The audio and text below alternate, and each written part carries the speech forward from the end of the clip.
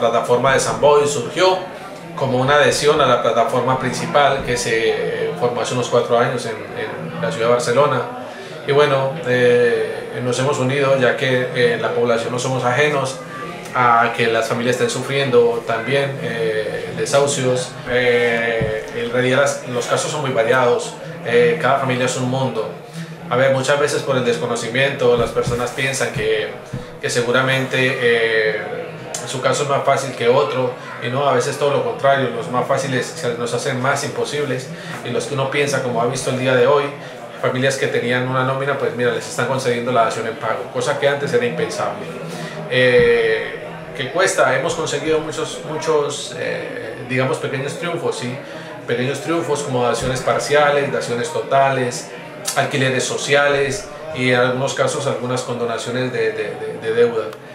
Porque no es normal de que en España es donde más viviendas vacías hay, es donde más gente se están echando a la calle. Aquí en San Boy, en nuestra población donde nos encontramos ahora, aquí el compañero eh, firmando, pues mira, aquí hay 400, de, más de 400 desahucios al año. Estamos hablando entre locales, alquileres y, y viviendas eh, hipotecadas. Entonces, claro, uno dice, es que sale a casi un promedio de, de, un desahucio por día. Pues sí, desgraciadamente es así. Lo que pasa es que hay personas que se encuentran en una situación más cómoda y entonces a lo mejor ese problema lo dejan, lo dejan avanzar y tiene un resultado final no satisfactorio y el problema está ahí. Como hay otras personas que se acercan y quieren luchar por ese tema y algunos, como les decía antes, pues han conseguido daciones totales, daciones parciales e inclusive muchos alquileres.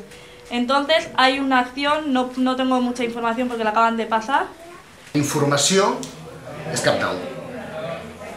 Que si tenen alguna plataforma a prop de, de casa seva, al seu poble, eh, que hi vagin, si no que vagin a la més propera, perquè, primer, eh, una de les coses més remarcables que hi ha és el, el desbloqueig mental que la gent té quan està dintre de la pah. Només això, només el deixar de sentir-se culpable a passar a sentir-se víctima, ja paga la pena.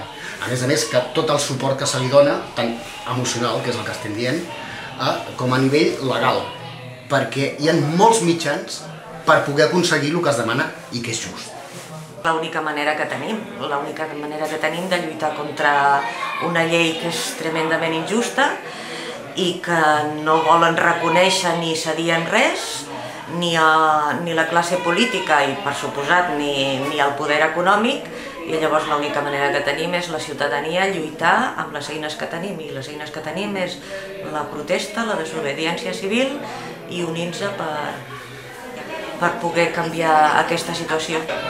Jo penso que tal com estan les coses i el nivell de crisi econòmica que hi ha, no quedarà cap més remei que, que modificar, si no volen un esclat social amb tota regla, que modifiquin moltes lleis per intentar, encara que sigui, calmar la ciutadania, perquè és que els nivells que estem arribant ja són insuportables.